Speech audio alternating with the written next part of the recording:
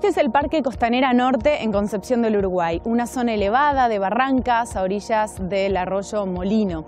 Este sitio es popularmente conocido como Parque La Salamanca, porque hace muchísimos años los alumnos del Colegio del Uruguay, cuando se escapaban de sus horas de clases, solían venir a este sitio. Entonces los profesores empezaron a circular la versión de que aquí eh, estaba el diablo, se reunían las brujas, y allí le quedó el nombre La Salamanca.